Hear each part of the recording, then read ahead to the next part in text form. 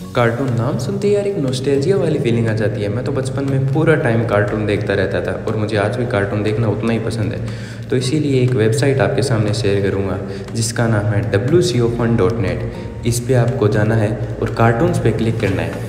फिर आपके सामने आज तक के रिलीज़ हुए ए टू जेड सारे के सारे कार्टून्स आपके सामने आ जाएँगे।